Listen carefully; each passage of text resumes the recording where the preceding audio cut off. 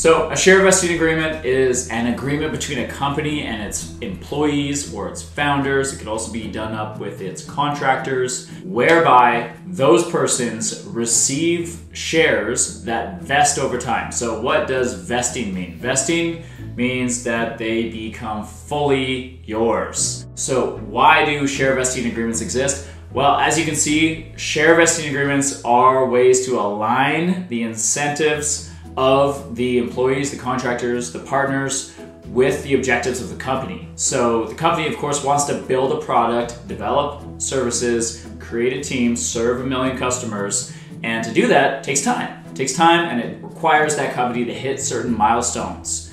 So share vesting agreements are generally structured according to time elapsing or and one of the two uh, the company hitting and, and its employees hitting certain objectives.